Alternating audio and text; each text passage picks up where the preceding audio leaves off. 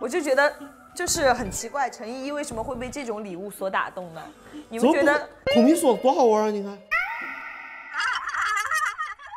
大家想一下，如果你要给一个女生送礼物，你们会送什么东西呢？我觉得挺好的送这个，对啊，挺好啊。多好啊！我会送解谜书、你呢？百科全书。